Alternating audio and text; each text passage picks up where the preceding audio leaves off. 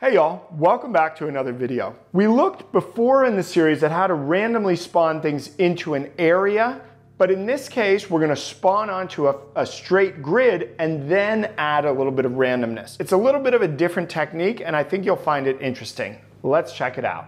In this video, we're gonna take a look at adding some position randomization within the process of spawning a grid. So in another one of our videos, we saw the idea of scattering objects over a space.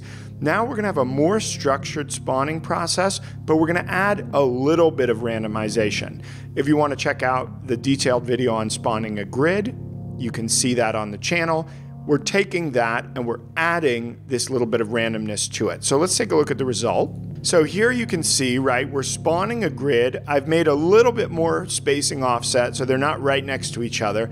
And then I've added this position randomization field. And this is a vector 2, which is going to range between, in this case, negative 0.5 and positive 0.5. So it's adding one unity unit of total randomization only along the y-axis. Let's say we turn it up to maybe 2 we can see a more significant variation, right? Some of them are dropping beneath the ground. If we turn off the ground, we'll see that, right? Some of them dropping beneath the ground, and that is creating what look like holes in the grid, which is also kind of interesting from a level design perspective, right? If we were maybe platforming over these boxes, that might be kind of cool. What we're doing here, if we go to our grid spawner object and look at our spawn grid with randomized position script, we're running basically the same script that we discussed in our how to spawn a grid video, but in this case I've added this public vector 3 called position randomization, and then I've added this function here which returns a vector 3, right? If you're not familiar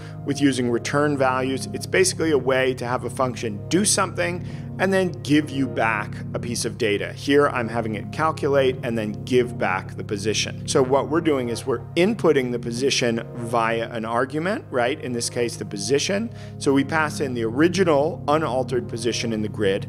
Then we create a new vector 3 called randomized position, and we're using the random.range function, and we're passing in the negative value of, in this case, position randomization dot x, and then the positive value. So we're ranging from negative, let's say for y, right, which is the one we're modifying, we're ranging from negative 0.5 or, or 1 or 2 or whatever we put in to positive 1 or 2, right? So that we're adding a total of, if we're doing 0.5, we're adding a total of 1, right? So we could have up to 0.5 down or up to 0.5 up. So there's a kind of a 1 total range. We take that and then we add it to the input position, right? So we're doing it for the X, Y, and Z axes and then adding that to the original position. So we're getting a position in world space plus this amount of randomization, and then we're returning the randomized position.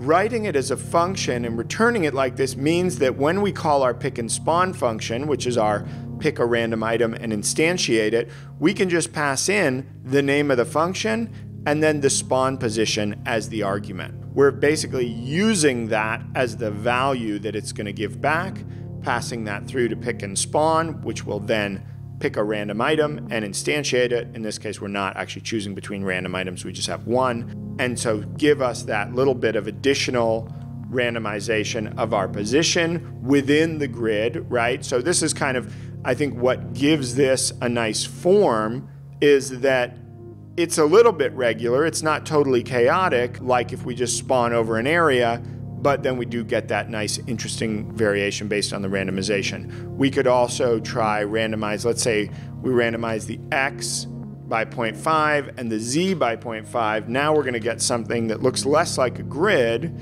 and there will be some overlap. As you can see here, right, it looks like more like a noisy a noisy grid, but you can kind of still detect the overall square shape that it started off as a grid and then became modified. So this is an interesting way to generate things, right? Is to generate a more regular form and then add some randomness to it. That's all we're going to cover in this video. Thank you so much for checking it out. If you found it valuable, please consider subscribing, drop a like, and if you have a comment, let me know. How would you use this in your games? Or is there some area of this that you'd like me to explore more in a future video? Let me know in the comments down below. I'll be really interested to hear from you. And as always, thank you so much for watching.